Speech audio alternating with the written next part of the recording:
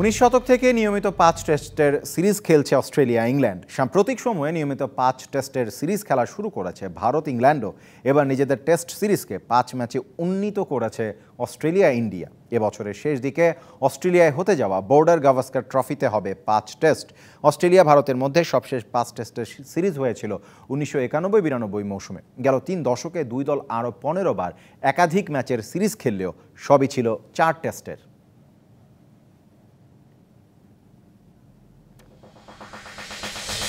বেশ ঘটা করেই বাবর আজমের জায়গায় শাহিন শাহ আফ্রিদিকে টি টোয়েন্টি নেতৃত্ব দিয়েছিল পাকিস্তান ক্রিকেট বোর্ড। তবে এক সিরিজ পরই আফ্রিদির নেতৃত্বের ভবিষ্যৎ নিয়ে তৈরি হয়েছে শঙ্কা। সামনে এ ফার্স্ট বোলারই অধিনায়ক হিসেবে থাকছেন কিনা তা নিশ্চিত না করে গুঞ্জনকে আরও উস্কে দিয়েছেন পিসিবির প্রধান মোহসিন নকভি ওয়ানডে বিশ্বকাপের পর বাবরকে তিন সংস্করণের নেতৃত্ব থেকে সরিয়ে দেয় পাকিস্তান। টেস্ট দলের নেতৃত্ব দেয়া হয় শান মাসুদকে। টি টোয়েন্টিতে অধিনায়ক করা হয় আফ্রিদিকে। আফ্রিদির অধীনে নিউজিল্যান্ডের সাথে চার এক ব্যবধানে সিরিজ হেরেছে পাকিস্তান।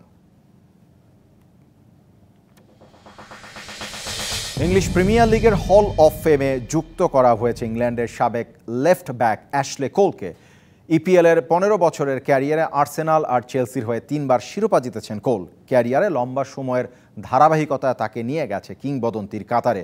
দু হাজার তিন চার মৌসুমে আর্সেনালের ইনভিনসেবল দলের অন্যতম এই ফুটবলার সব মিলিয়ে তিনশো পঁচাশিটি প্রিমিয়ার লিগ ম্যাচে মাঠে নেমেছেন। দলকে একশো সাতচল্লিশ ম্যাচে অপরাজিত থাকতে সহায়তা করার পাশাপাশি নিজে করেছেন পনেরো গোল করিয়েছেন একত্রিশটি।